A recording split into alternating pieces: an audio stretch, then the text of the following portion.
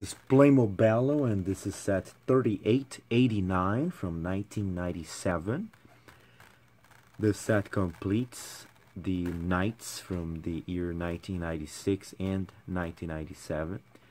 This is one of the sets that I least wanted and they don't match any of the armies from the castles released in 1993. They all died just a brand new faction and if you look at the flag here it's just a cross and yellow and purple lines. And so here's the idea that Playmobil had. Uh, the arrowed guys the crossbow and bow and arrow guys they have this protection on their wrists because that's their hand that will be pulling the the arrows from the quiver and putting onto the bow and arrow. So that hand going to be moving like this a lot, so it needs to be protected from the enemy. And this hand doesn't have that because if you look at it, this uh, crossbow, for example, takes the perfect space and position into the arm. So it, it cannot have a bracelet in that area. That's why every single character in here has only one bracelet on the left side.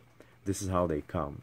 So don't worry, don't if you buy this used, mine was brand new, but if you buy yours used, you have only one bracelet on each and you're not missing any items. This is how this device works. You can carry it to battle with you. It has wheels on the back and it has uh, levers to hold on on the front.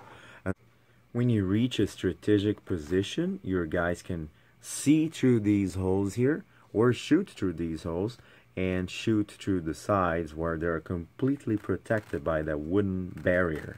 And all the other guys can be behind that and you have no means for any arrows to hit them. So your army can be well protected.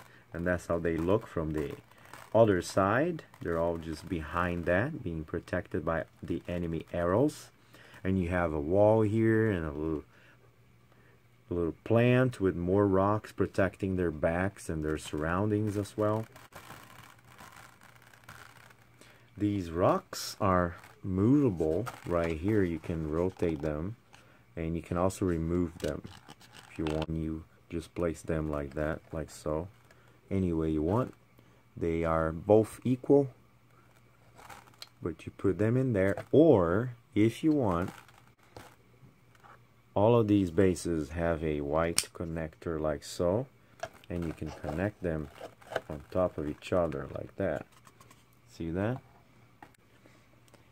And if you want to do the reverse you can. You take the plant off. These has rocky formations on them. Now you have this kind of rocky rock formation. Of course it will not stand on its own because the weight balance is just different you can move your plant in here. And instead of a rock in there you can just put this one. And then and then whoops there oops. These are all the accessories that come with the set. I removed even the bracelets from their arms.